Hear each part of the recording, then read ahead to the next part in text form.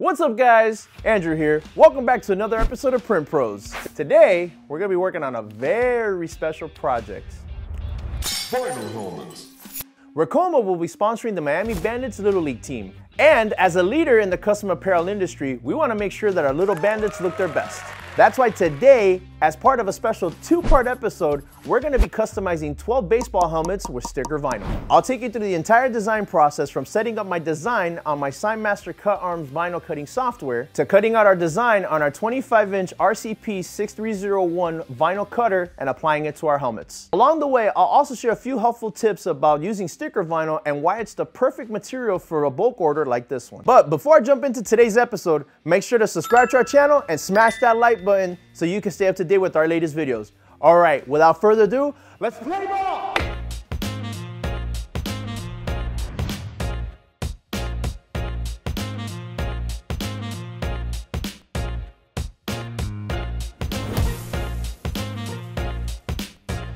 So first off, Let's talk about sticker vinyl and what sets it apart from other types of decorative vinyl. To put it simply, sticker vinyl is a strong, durable vinyl material with an adhesive backing that can easily be applied to a variety of different substrates. It comes in a wide variety of colors, is super cost effective, and on average can last anywhere from 5 to 10 years depending on where the material is applied. So by the way, it is recommended to use permanent vinyl for garments or athletic equipment that experience frequent wear or tear. Unlike heat transfer vinyl or permanent vinyl, sticker vinyl does not require transfer paper or a heat press. Simply cut, peel, press, and go. As a result, this material is perfect for quickly decorating hard surfaces or in garments as part of a bulk order. However, sticker vinyl is better suited for substrates that don't receive a lot of physical contact or get washed regularly. This is because heat transfer vinyl and permanent vinyl form a more permanent bond with the substrate, as such, it will hold up to wear and tear better. We actually have a video on our YouTube channel where we go through the entire HTV decorating process. I'll leave a link to it on the card above and the description below.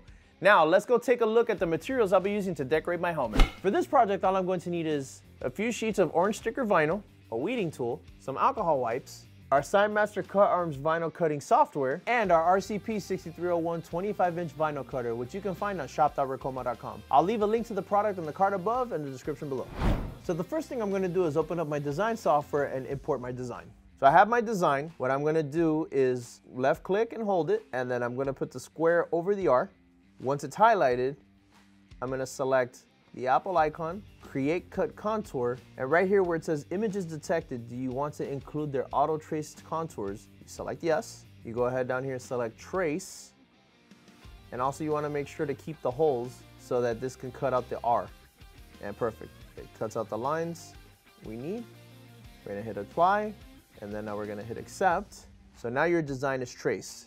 And now what you're gonna do is go over here to the cutter, and over here, since this is gonna go onto a helmet directly, we don't need transfer paper and we don't need to mirror our design. So over here, you make sure that the mirror is unchecked. In this case it is, so we don't have to do anything else. Now, we're gonna do an area test just to make sure that the cutter will cut the vinyl.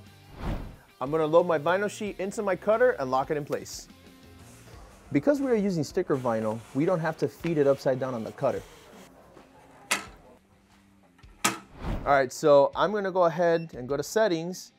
I'm gonna set my cutting force to 200. The blade is gonna be at level four and my speed is gonna be 400.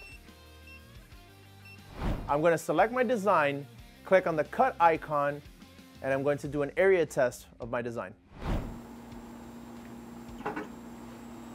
All right, now that that's set, let's get cutting.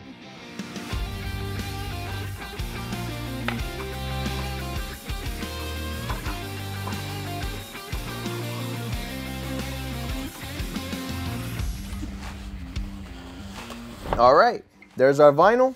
Now we're just gonna weed out the excess vinyl and reveal my design. So I'm gonna go ahead and cut my vinyl.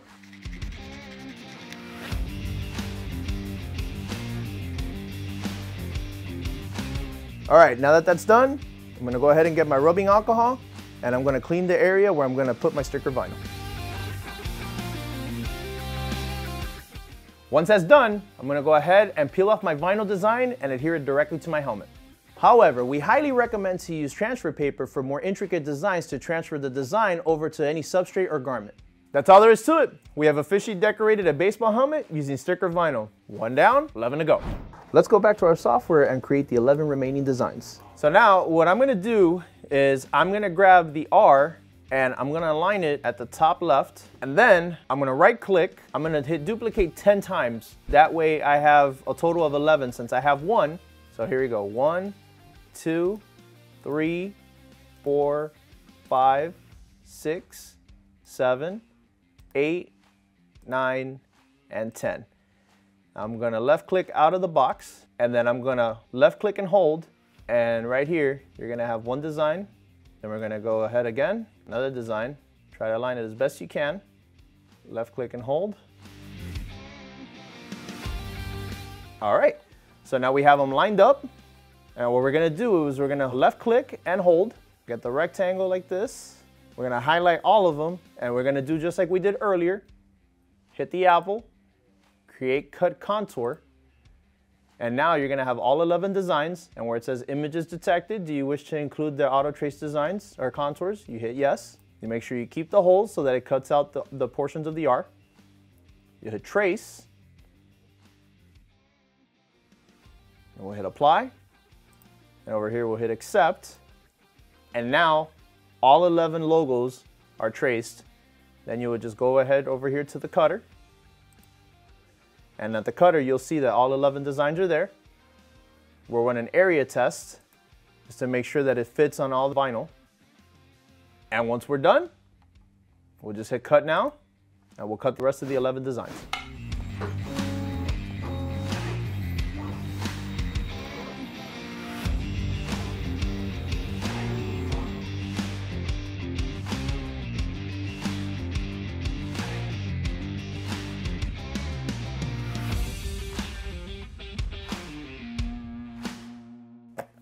And that's it. The bandits are gonna love these.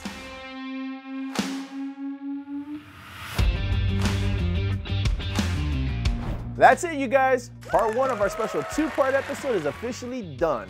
Be sure to tune in next time on Print Pros to see part two as we customize the team's jerseys. If you're looking for more inspiration for your next printing project or to get some more advice on custom apparel, then be sure to check us out on Facebook and join our embroidery and custom apparel mastery group. If you haven't done so already, make sure to follow us on Instagram and TikTok for informative and entertaining content. Also, be sure to let us know in the comments if there are any other topics you'd like to see in a future episode of Print Pros. I'll see you next time.